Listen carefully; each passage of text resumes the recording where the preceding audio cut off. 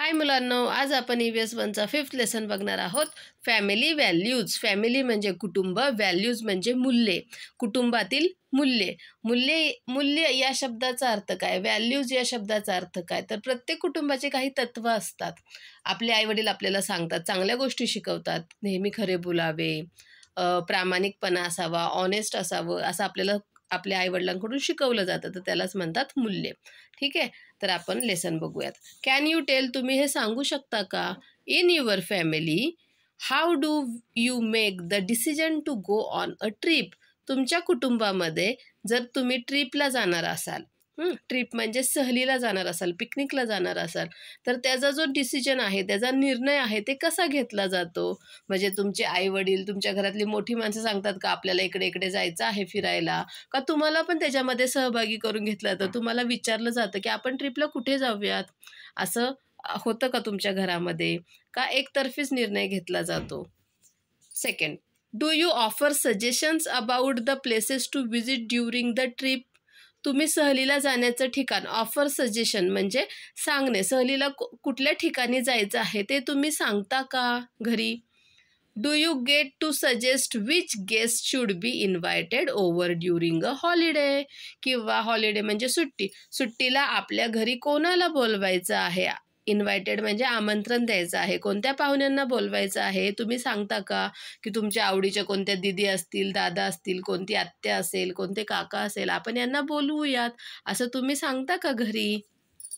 How do you help during preparations for festivals or functions at home तुमच्या घरी जर कोणता फेस्टिवल म्हणजे सण असेल किंवा फंक्शन असेल समारंभ असेल फंक्शन म्हणजे कोणतंही बड्डे फंक्शन असेल इतर कोणतं फंक्शन असेल तर त्यावेळेस जे प्रिपरेशन ज्या तयारी करायच्या असतात त्याच्यामध्ये तुम्ही मदत करता का?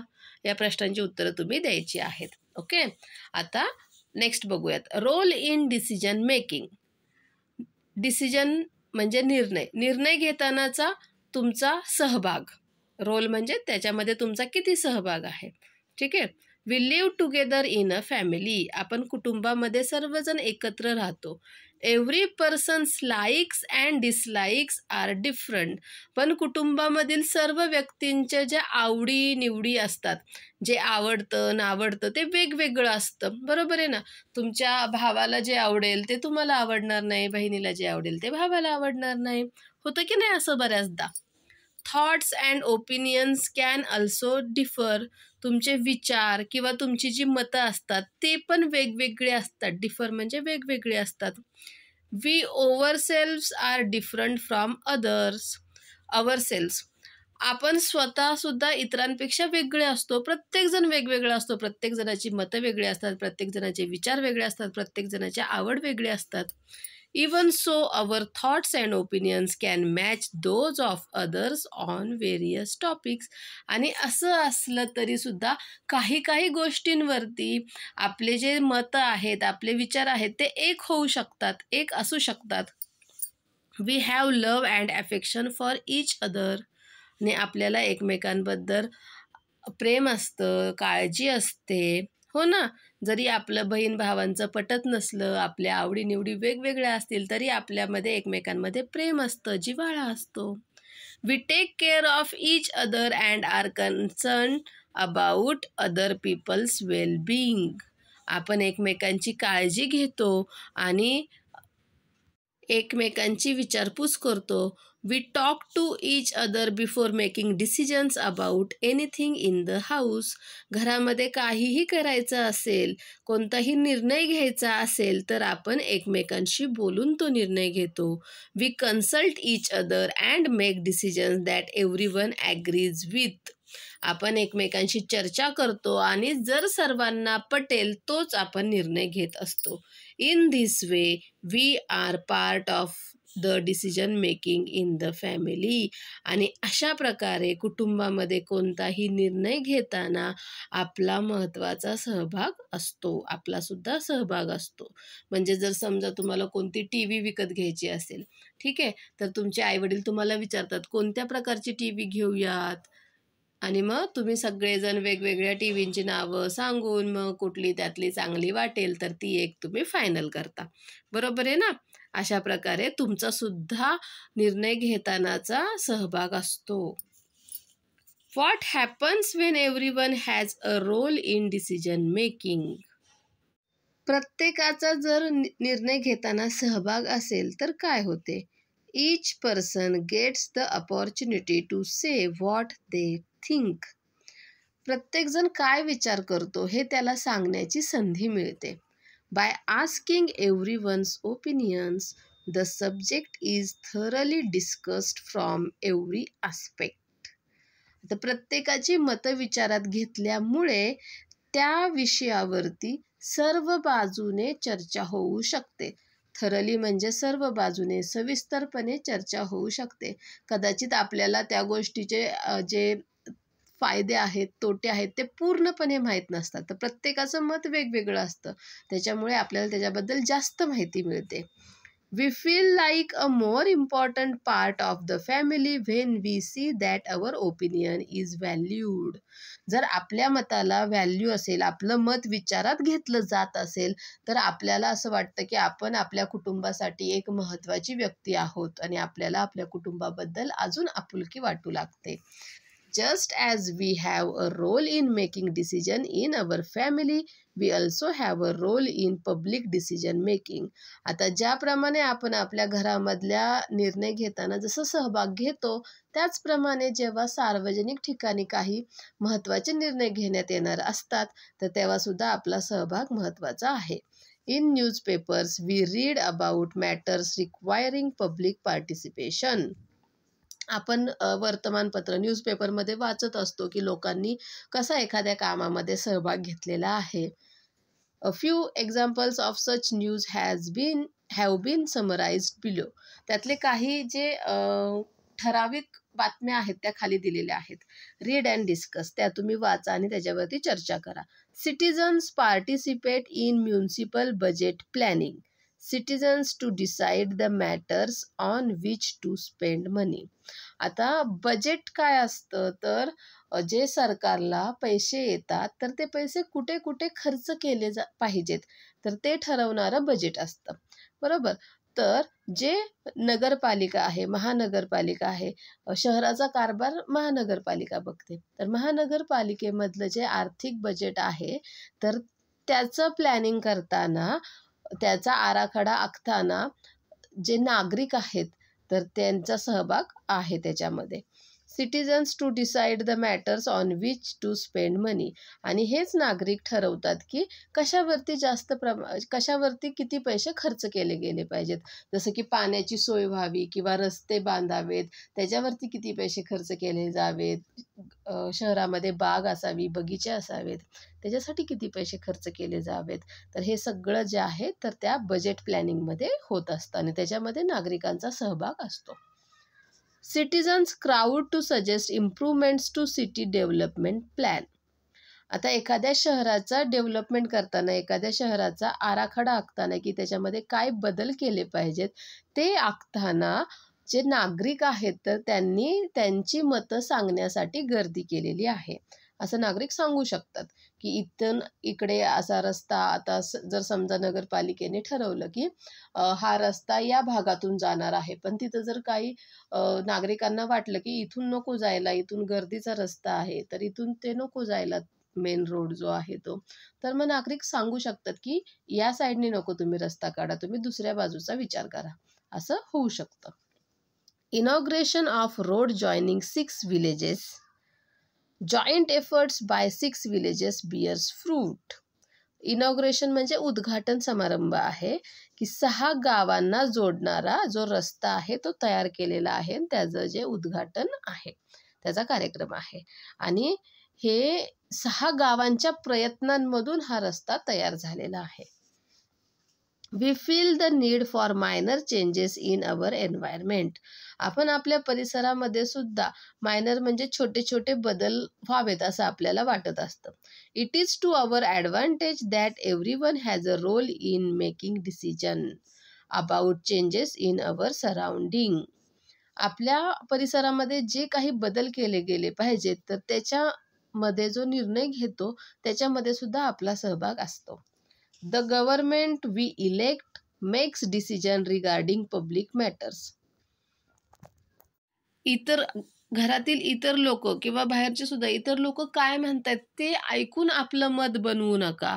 तुम्ही तुमच्या डोक्याने विचार करा. Share your thoughts with others तुम्हाला जे काय वाटतं आहे तुमचे जे विचार आहेत ते दुसऱ्यांसोबत शेअर करा दुसऱ्यांना सांगा. त्याच्यावरती चर्चा करा. ओके कॅन यू टेल तुम्ही हे सांगू शकता का? Note the following situations carefully खाली काही घटना दिलेल्या आहेत तर त्या काळजीपूर्वक वाचा. State which of the children show honest behaviour मग यातल्या कोणत्या इथं तीन मुलां कसे वागलेत ते दिलेलं आहे. तर त्यातलं कोणती मुलं प्रामाणिकपणे वागली ते सांगायचं आहे. ऑनेस्ट म्हणजे प्रामाणिकपणे वागले ते सांगायचं आहे. Afrin borrowed a pencil from Meenu. आफ्रिनने मीनूकडून पेन्सिल बॉरो बॉरो म्हणजे थोड्या वेळासाठी घेतली. Af after she finished using it she return it तिचं काम झालं तिचा अभ्यास झाला की तिने तिला परत दिली. मग हे ऑनेस्ट आहे का? हो ऑनेस्ट आहे. आपण थोड्या वेळासाठी घेतली ना एखादी वस्तू आपलं काम झालं की त्याला परत देऊन टाकायची. क्षमा फेल फ्रॉम हर बायसिकल क्षमा तिच्या बायसिकलवरून सायकलवरून पडली. However she told her mother Neha pushed me off the bicycle पण तिने तिच्या आईला काय सांगितलं? की नेहाने मला ढकललं सायकलवरून म्हणून मी पडले. बरोबर आहे का? नाही. हे ऑनेस्ट नाही आहे ठीक आहे? कारण ती खोटं बोलते याच्यामध्ये. Mary took the bag she found in a rickshaw to a police station. मेरीला रिक्षामध्ये एक बॅग सापडली. ती ती घेऊन पोलीस स्टेशनला गेली. बरोबर केलं. ऑनेस्ट आहे. कारण तिला माहीत नाही ही बॅग कोणाची आहे. पोलीस स्टेशनला जमा केली तर पोलीस त्याचा शोध लावतील. बरोबर? Effects of honest and dishonest behaviour. मग प्रामाणिक आणि अप्रामाणिक वागण्याचे काय परिणाम होतात ते आपण इथे बघणार आहोत. We do many different things every day आपण रोज वेगवेगळ्या गोष्टी करत असतो. समटाईम्स वी मेक मिस्टेक्स कधी आपण चुकीचं सुद्धा वागतो. When we realise that we have made a mistake we should talk about it openly with our friends and family आणि जेव्हा आपण अशी काही चूक कर केली असेल तर आपण त्याबद्दल आपल्या मित्र आणि कुटुंबाशी ओपनली मोकळेपणाने बोललं पाहिजे की हां हां माझं हे चुकलं सॉरी असं म्हटलं पाहिजे. By doing this we learn to be honest and find a way to correct our mistakes आणि असं केल्यामुळे आपण प्रामाणिकपणे वागण्याचं शिकतो आणि आपली जी चूक झाली आहे तर ती सुधारण्याची आपल्याला संधी मिळते सुधारण्याचा आपल्याला मार्ग मिळतो. चुका ह्या प्रत्येकाकडूनच होत असतात पण आपली चूक कबूल करण्यातच मोठेपणा असतो. ठीक आहे? कधीही आपली चूक झाली की ती कबूल करायची समोरच्याला सॉरी बोलायचं. Okay it is also necessary to be honest and sincere in our work आता हे जसं आपण वागण्याबद्दल बघितलं तसंच आपण आपल्या कामामध्ये सुद्धा प्रामाणिक पाहिजे सिन्सिनि सिन्सिअर पाहिजे. अगदी मन लावून ते काम आपण केलं पाहिजे. We must try hard to keep the trust in any relationship and never cheat आपलं जे कोणासोबत जे कोणतंही नातं असेल मग ते फ्रेंडशिपचं असेल आपल्या आईवडिलांशी आपलं जे रिलेशन असेल तर त्याच्यामध्ये विश्वास खूप महत्त्वाचा असतो. त्यामुळे कधीही आपल्या आईवडिलांशी आपल्या मित्रांशी खोटं बोलायचं नाही. त्यांच्याशी नेहमी खरंच बोलायचं आणि त्यांना कधीही फसवायचं नाही. If we are honest we do not have to be afraid जर आपण प्रामाणिक असेल तर आपल्याला घाबरण्याचं काहीही कारण नाही. But if we are dishonest, we lose our self conti confidence पण जर आपण अप्रामाणिक असू तर आपला स्वतःचा आत्मविश्वास कमी होतो. की आपण खोटं बोलतो हे आपल्याला माहीत असतं. मग आपण कायम एक खोटं लपवण्यासाठी दुसरं खोटं बोलावं लागतं. तिसरं खोटं मग खोटं बोलून बोलून आपल्यामध्ये तेवढा कॉन्फिडन्स येत नाही. आपण कॉन्फिडंटली एखादी गोष्ट बोलू शकत नाही. ठीक आहे? We must be honest at home as well as in public आपण घरामध्ये सुद्धा प्रामाणिक असलं पाहिजे तसंच सार्वजनिक ठिकाणी बाहेरसुद्धा आपण प्रामाणिकच असलं पाहिजे. Every one respects and honest person प्रामाणिक माणसाचा सगळेच आदर करतात. ऑनेस्टी इज अवर स्ट्रेंथ प्रामाणिकपणा ही आपली ताकद आहे. ओके आता आपण पहिलं इथलं डू डू यू नो बघूयात मग पुढचं शिकूयात. डू यू नो तुम्हाला हे माहीत आहे का? In twenty two thousand eleven during a cricket match between India and the West Indies a bowler caught Sachin Tendulkar right at the beginning of the match दोन हजार अकरामध्ये एक मॅच होती इंडिया आणि वेस्ट इंडिजमध्ये तर तेव्हा सचिन तेंडुलकरचं मॅचच्या सुरुवातीलाच एका बॉलरने कॅच घेतला. The bowler appeal to the umpire अंपायरला बॉलरने सांगितलं की मी कॅच घेतलाय त्याने आऊटसाठी अपील केलं मागणी केली आऊट देण्याची. Thinking that the ball had not touch the bat the umpire declared Sachin Tendulkar not out. अंपायरला वाटलं की बॅटला बॅटला बॉल लागलाच नाही आहे आणि असाच बॉल त्याने पकडला. म्हणून अंपायरने तेंडुलकरला आऊट नाही दिलं.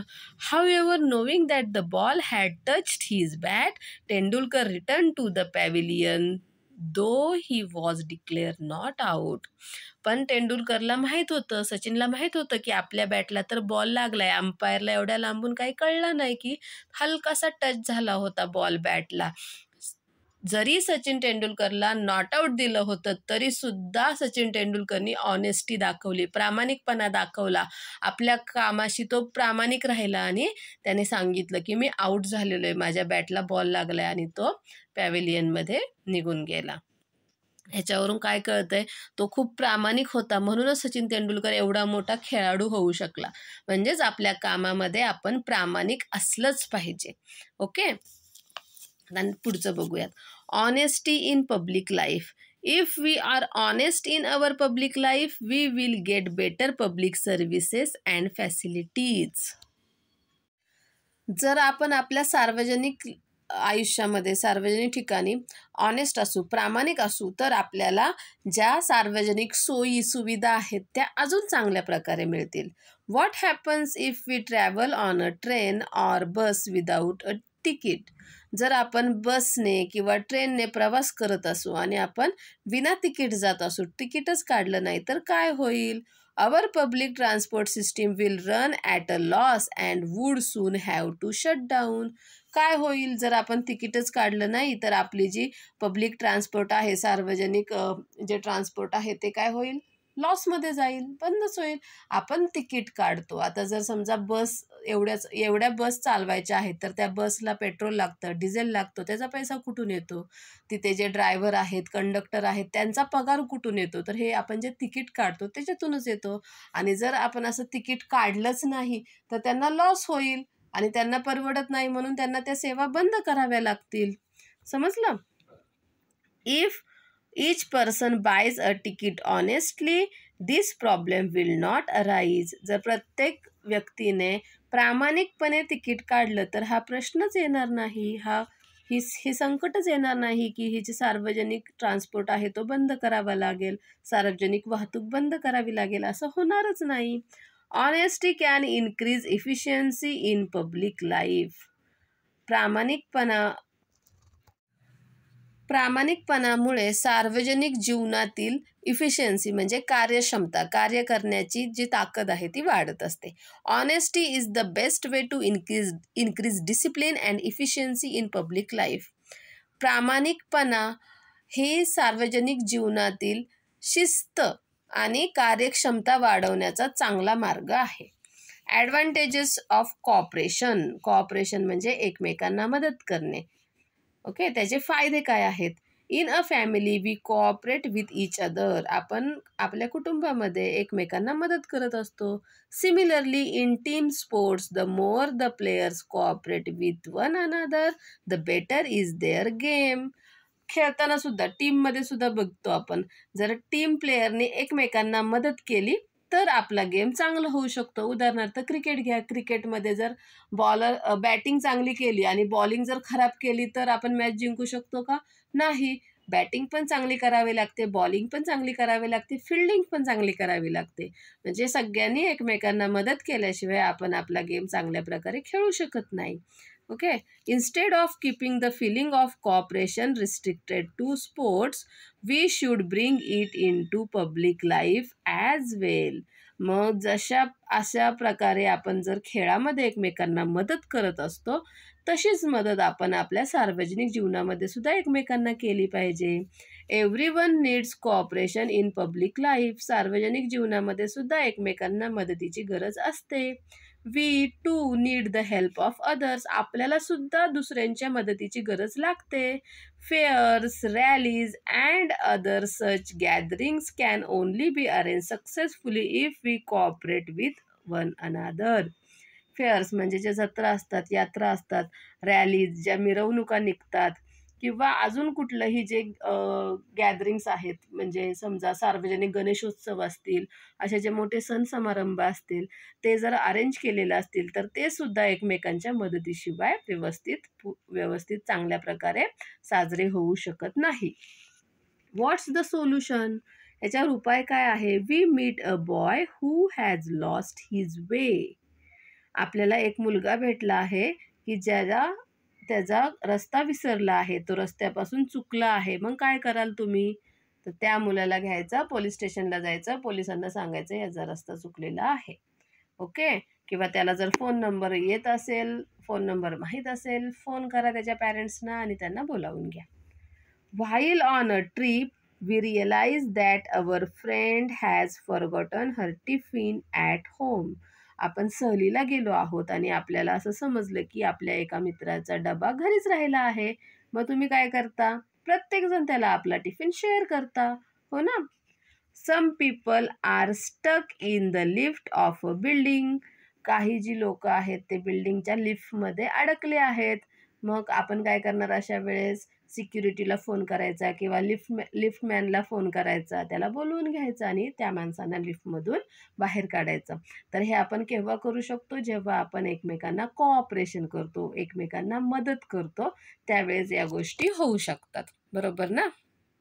रीड अँड डिस्कस वाचा आणि त्याच्यावर चर्चा करा. Read the dialogue given below इथे डायलॉग दिलेले आहेत तर ते तुम्ही वाचा. Discuss the problem stated and its solution त्याच्यामध्ये काही प्रॉब्लेम सांगितलेला आहे एक. तर तो तुम्ही त्याच्यावर चर्चा करा आणि त्याचं सोल्युशन सांगा. त्याच्यावरती काय उपाय असेल ते सांगा. तर हा मुलगा म्हणतो की our teachers taking us to see a fort आपल्या ज्या टीचर आहेत त्या आपल्याला एक किल्ला बघायला नेणार आहेत. It will be a lot of fun आपल्याला खूप मजा येणार आहे. But let us not include Savita and Sameer in our group पण आपण आपल्या ग्रुपमध्ये सविता आणि समीरला अजिबात घ्यायचं नाही. इन्क्ल्यूड म्हणजे घेणे. Savita talks too much and Sameer is always playing pranks Savita खूपच बडबड करते आणि समीर आहे तो सारखे प्रँक्स करत असतो. प्रँक्स म्हणजे लोकांना फसवण्याची कामं करत असतो. त्यांची मजा करत असतो. ही मुलगी म्हणते सो वॉट मग काय झालं? सविता सिंग्स वेल सविता छान गाणं बोल छान गाणं गाते. Sameer tells jo jokes Sameer आहे तो जोक्स सांगतो. लेट्स टॉक टू देम आपण त्यांच्याशी बोलूया. दे विल अंडरस्टँड आपण त्यांना समजून सांगू की तू खूप अशी बडबड करू नको किंवा तू असं लोकांना फसवू नको त्यांच्याशी प्रँक्स करू नको. ते समजतील. Let's not leave them out त्यांना असं एकटं ठेवणं चांगलं नाही असं ही मुलगी बोलत आहे. That's true I didn't think of that let us prepare for the trip together ही मुलगीसुद्धा म्हणते की हो हे बरोबर आहे. आपण सगळ्यांनी एकत्र ट्रिपला जाऊयात. Yes Gayatri is right let us learn new songs from Savita and new jokes from Sameer ही मुलगी म्हणते हो गायत्री बरोबर बोलत आहे. आपण सवितापासून नवीन गाणी शिकूयात समीरपासून नवीन जोक शिकूयात असं ते म्हणतात आणि ते हॅप्पी होतात. याच्यावरून काय कळलं आपल्याला? तर प्रत्येकामध्ये चांगले आणि वाईट गुण असतात. बरोबर? पण आपण काय करतो? त्याचे फक्त वाईटच गुण बघतो. त्याचे चांगले गुण बघतच नाही. तर प्रत्येकामधले चांगले गुण बघायचे. त्याच्यामध्ये जे काही वाईट असेल ते त्याला आपण समजून सांगायचं. त्याला समजून सांगितलं आणि जर त्याने नाही ऐकलं तर त्याचा विषय सोडून द्यायचा. पण असंच त्याच्याशी न बोलता त्याच्याशी चर्चा न करताच त्याला एकटं ठेवणं हे चुकीचं आहे. बरोबर? टॉलरन्स टॉलरन्स म्हणजे सहिष्णू वृत्ती. सहिष्णू म्हणजे एखाद्याला समजून घेण्याची सहन करण्याची वृत्ती. We all have some faults प्रत्येकामध्ये काही ना काही कमी असते. फॉल्ट्स म्हणजे कमी.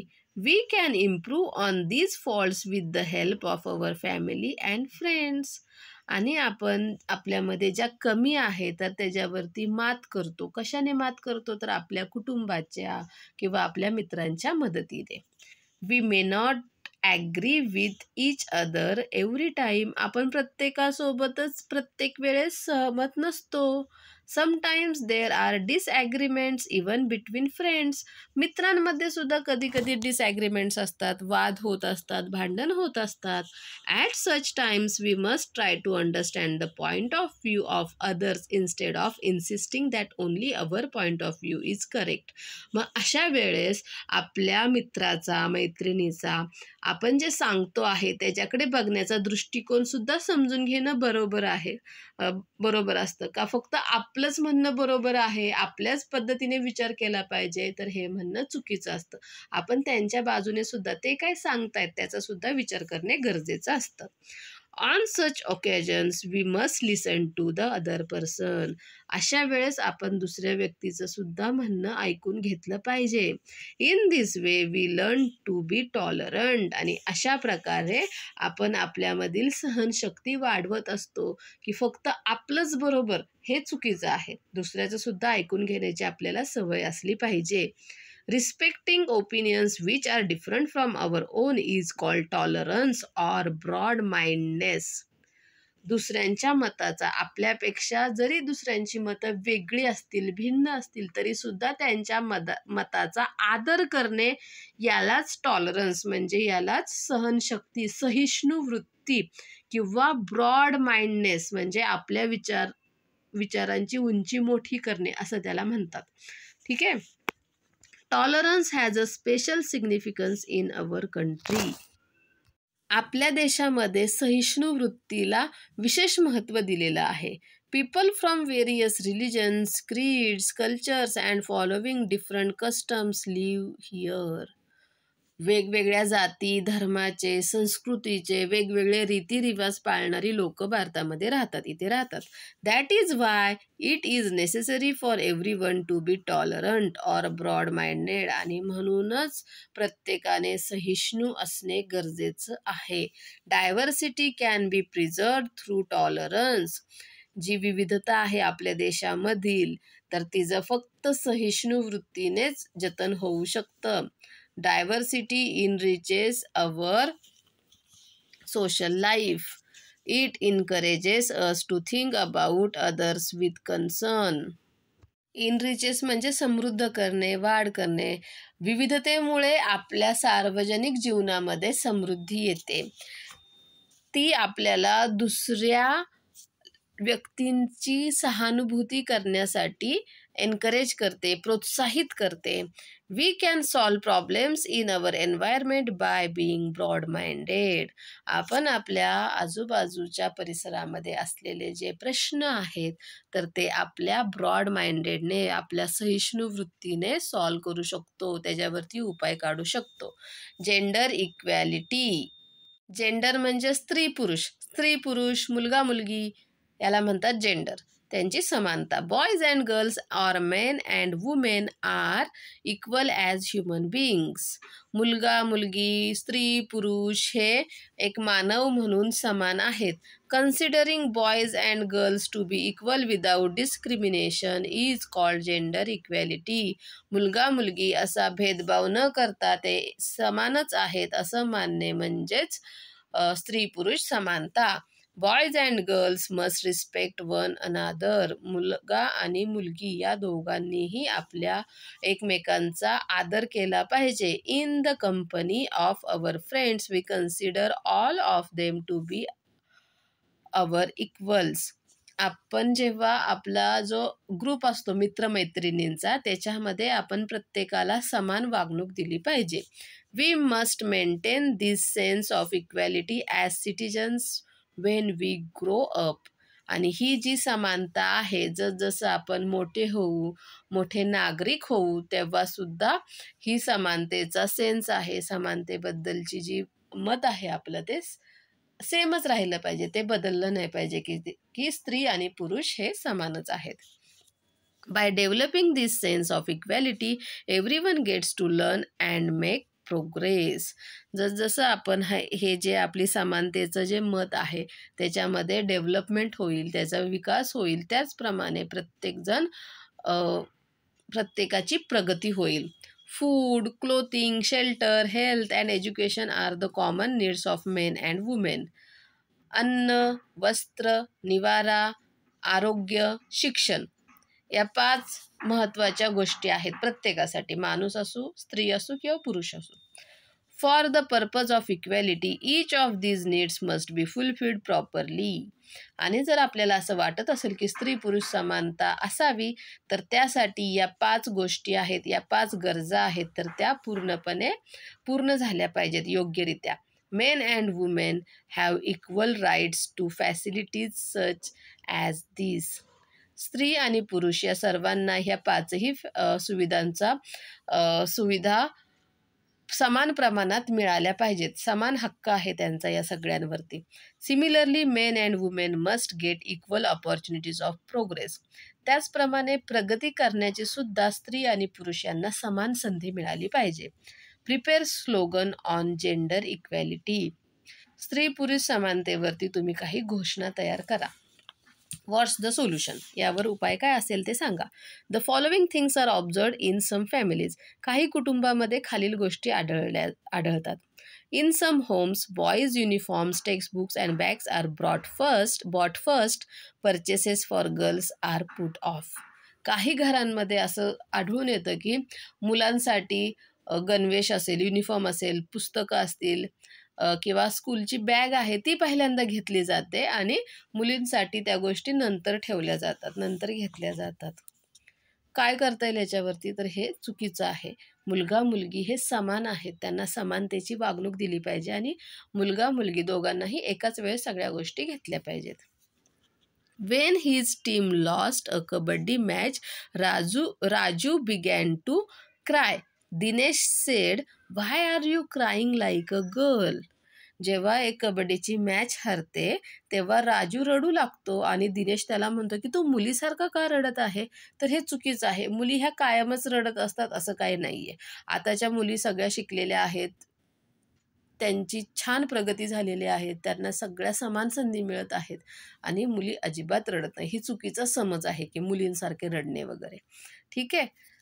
Vandana likes the bat and ball a lot. However, she is given dolls and toys, toys and utensils to play house. वंदनाला बॅट आणि बॉल खूप आवडतं पण तरीसुद्धा ती मुलगी आहे म्हणून तिला बाहुली किंवा जे किचनमधले खेळ भांडीकुंडीची खेळणी आहेत ती खेळायला देतात चुकीचं आहे ज्याला जी आवड आहे त्यांनी त्यांनी ते खेळावं जरुरी नाही की भांडीकुंडी फक्त मुलीच खेळतात म्हणून.